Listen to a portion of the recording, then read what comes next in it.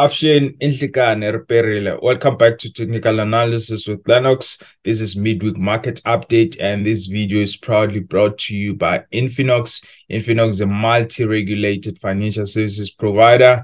The broker is also regulated in South Africa, FSP 50506. Now, did you know that you can actually earn money by just referring clients to the broker?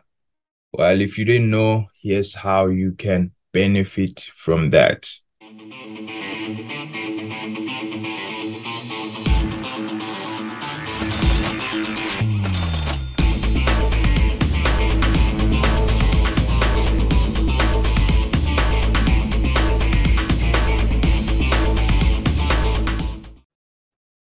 Now let's look at um, some Twitter requests. I'll start by by this request here by uh so this is a request um, from uh okay Pelmac. Okay okay. So um when i'm looking at this stock here uh this stock has created a nice bottom here right? It has created uh, this triple testing here this triple bottom here and the stock is looking fairly okay.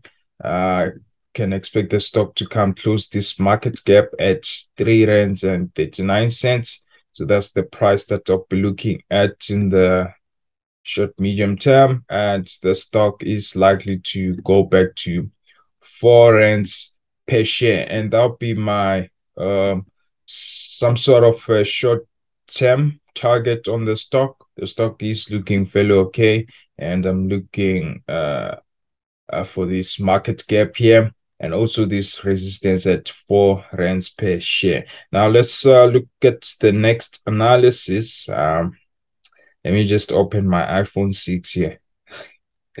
um, so this is a request by Cheryl. Uh,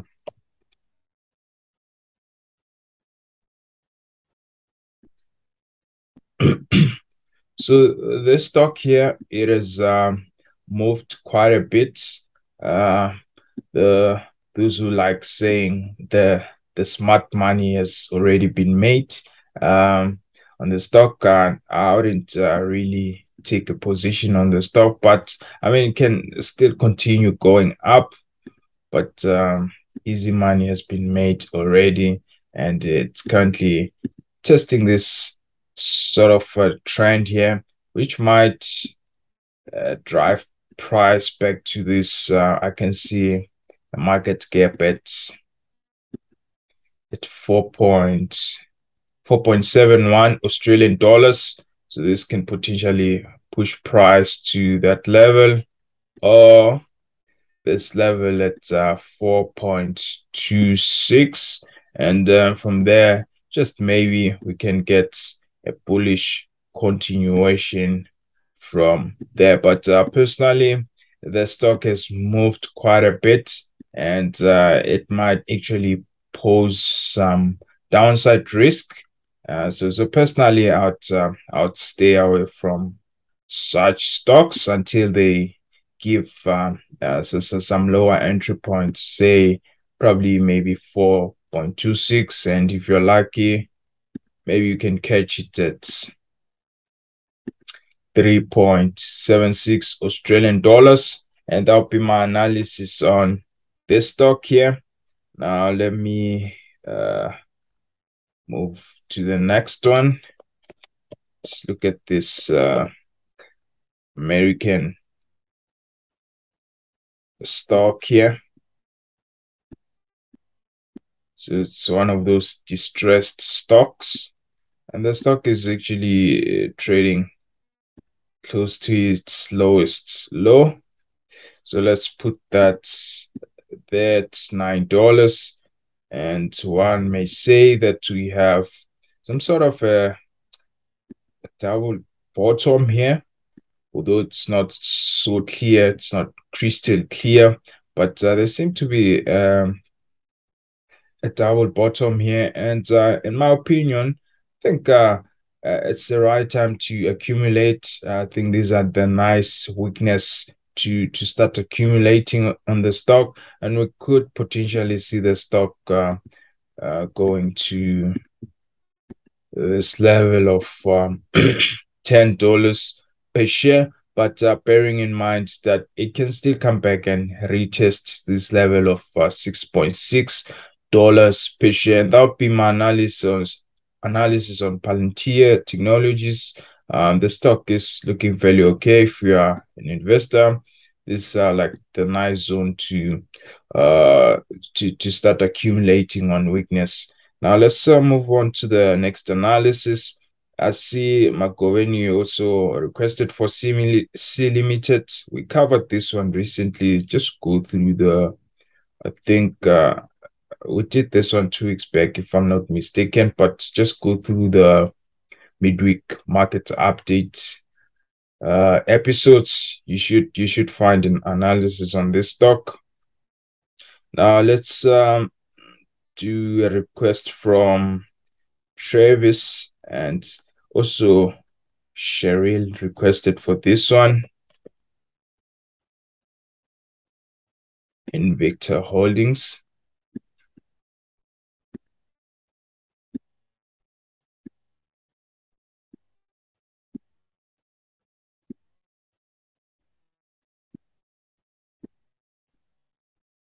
And if I'm not mistaken, uh, this chart looks so familiar. I think we've covered this stock some, some time. Uh, I think three weeks, four weeks ago. But uh, anyways, I'm seeing this head and shoulder here, this potential head and shoulder here. And this is uh this is a major risk on the stock, although we have um price breakout here. Uh, those that like trading breakouts will tell you that this is um, this is a bullish sign. But in my opinion, I, I don't like this kind of movements. I really like this this is this kind of analysis or this kind of signals here. And this is a head and shoulder here. This is a bearish signal in my opinion. Of course, you can still see the stock coming to test this level here of uh, 32 rands per share, but uh, the stock is likely to reject back to this this breakout zone here. This breakout zone here, and this would be a buy zone in my opinion. Uh, this is around let's call it 11 rands per share. Uh, the stock is not looking too great in my opinion. In order to val- invalidate this analysis, the stock will have to break above this uh, this shoulder level of uh, 32 rands per share. So if we see the stock breaking above that level here, that would be a strong bullish sign on the stock. But in the meantime, I'm actually having a bearish outlook on the stock. Um, I'll only change my my outlook or my focus if the stock breaks above 32 rands per share and it's actually a strong break. Otherwise, the stock can potentially go back to to 11 rands per share. And that'll be my analysis on Invicta Holdings. Now let's move on to the next one. Um, let's do PPC. Uh, PPC. And uh, I think I recently spoke about this stock. Uh, I think maybe I was a bit violent, so today I'm a bit calm. And um, so, so the next low that you can expect on the stock is around it's around this level here, and this level is one rand and 80 cents. In the meantime, there's no signs that suggests that the stock is turning bullish. The stock is still looking bearish. If the stock does not get to this uh, level here, another bullish sign would be a break above this trend line here. So let's say a break above a strong break above two rands and 63 cents, that would maybe be a strong bullish sign on the stock. And if this 180 support does not hold, the stock is likely to go back to its lower low of uh, around 50 cents going into uh, the mid 40 cents. And that'll be my analysis on PPC Limited. Uh, now let's at uh, this request by uh, Divani. So requested for Nedbank. and from this analysis, I can tell you that the stock has hit this supply zone here.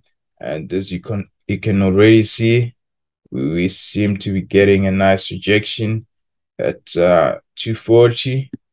And I'm now expecting the stock to go to at least 187 and the stock can potentially go to uh, 150 156 is rands per share.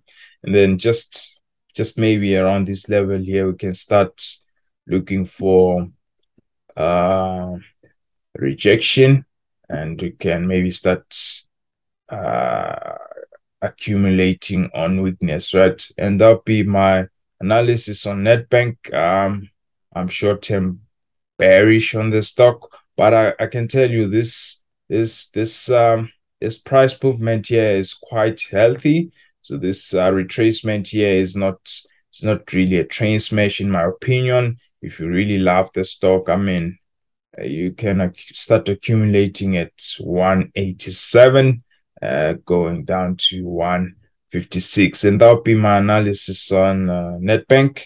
Let's look at the next one here. Uh, Stor-Age. I haven't looked at this chart in a while. It's probably because there's there isn't much data on the on the stock. Uh, let's see what we can we can find here. I see we have a resistance there. Um,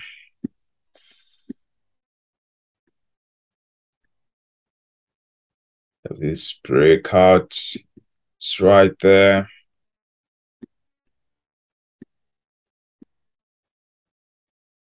And what I'm seeing from this um, from this chart, right? Uh, the stock can can go to uh,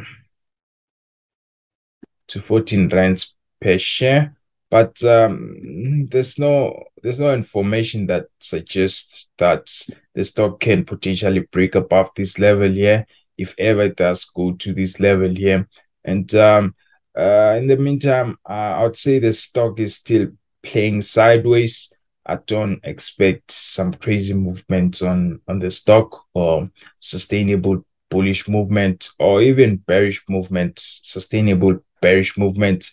I'm not expecting much on the stock. So uh in the in the, the short medium term, the stock will probably play around these zones here. These zones here. So you can see it uh doing some sort of zigzag there, testing that high, testing this low, testing that high. So this like the sideways movement that I'm talking about. Uh, there isn't much that I'm expecting on the stock, and I think uh, I think I should just leave it at that and uh, not lie to you guys. I'm not really expecting much on the stock, and that'll be my two cent opinion on Stor-Age. Uh, let's get Pick and Pay. The request uh, from This is a request from Katleho. Pick and Pay.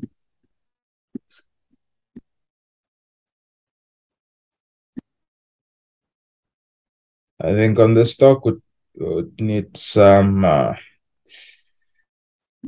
some more confirmation. Let's see what we have on the the weekly chart. The stock has recently tested this supply zone here, and we can potentially see it uh, going down in the next the next coming days. Uh, it's likely to come back test this level at uh, 54 rands per share. That's that's actually what I'm expecting on the stock. Uh, I mean, it's not looking too great. And it's not looking too bad either. Um, but the stock can, so the lowest that the stock can possibly go, I see this this sort of a downtrend here. So the first low that the stock can go to is this 54 rands per share. And if um, we get a strong bearish energy, it, it can go to 50 rands per share. And if we break below this trend line here that I've drawn here, this would will scream danger on the stock. If it breaks below, uh, say 54 rands per share, the stock can still go to uh, this low here. Uh, this low is actually, it actually correlates with that uh, 50 rands low on the stock. So just be mindful of, uh, this risk here. This would be a drawback of uh, approximately um, 18% uh, from current current price, right? If this does not happen, I think a bullish sign would be a break above above um, 62 rands per share. And uh, I think that that should uh, conclude my analysis on Pick and Pay. ShopRite, I think I've done an analysis uh, maybe a month ago, which is still up to date. Let's look at Mr. Price. Request from Dave.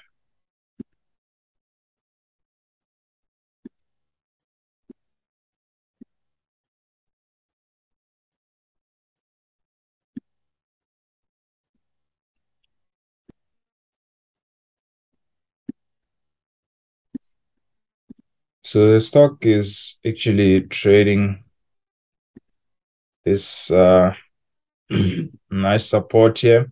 If you love the stock, I think this is a nice zone to to accumulate. This is 168 uh, rands per share. And um, I think uh, the stock can potentially uh, reach this high here at um, 228, but my target on the stock would be around 283 rands per share. Uh, the stock is is looking fairly okay. Just uh, just know that um, the stock does not move uh, as much, so uh, a bit of patience here and there, you should be fine. But the stock is looking fairly okay. The downside risk on the stock probably um, a test to this low here, which should be which should be a drawback of approximately 25% um, from current price. But otherwise, I'd say I'm bullish on Mr. Price Group, and that'll be my analysis on the stock. Um, let's see here. Let's see. Let's see. Who am I leaving? DRD Gold.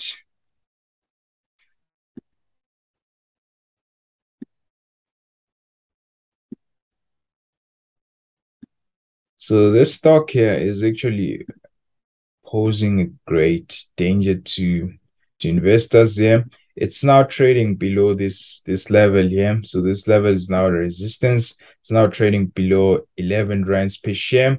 And this, I should tell you, it can potentially take the stock to to two rands per share. Um, I'm not gonna sugarcoat things. this is a possible reality and it's not it's not really far-fetched. For as long as this stock is trading above no for as long as it's trading below 11 rands per share this stock can potentially go to um two rands per share. Is this is two rands yeah two rands per share. And um just just be mindful if this happens this would be a drawback of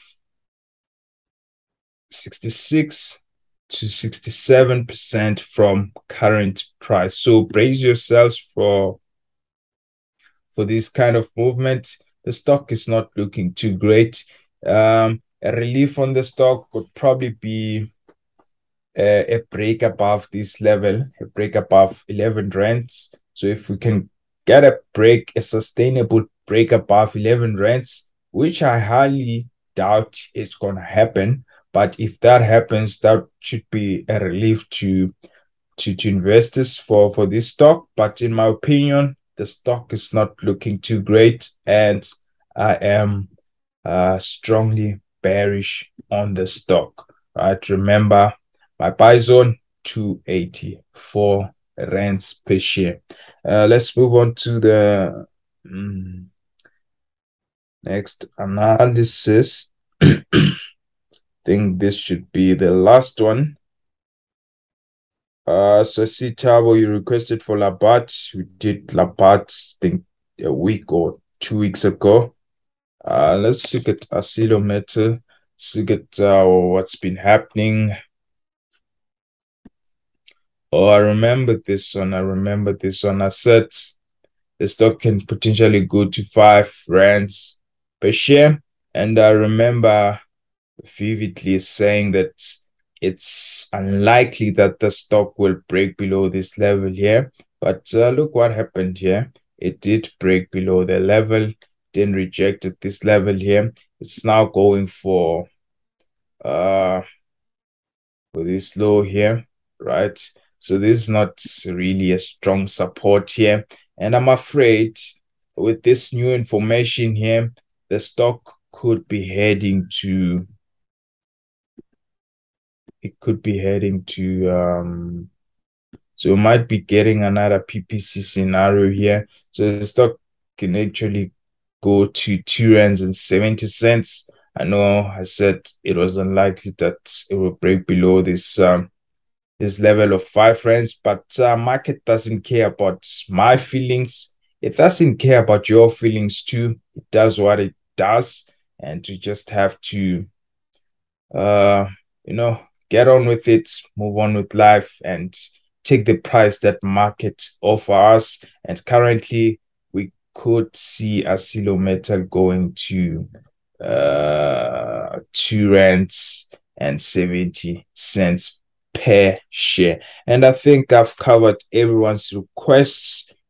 Uh, let me just confirm again is uh, that'll be it for this week. Remember, if you're new to the channel, kindly hit the subscribe button. If you're a subscriber, like the video, subscribe. No, why would you subscribe when you are you're already a returning subscriber? Share the video, comment, uh, just leave your thoughts in the comment section. Uh, let's meet again next week, same place, same time. Bye bye.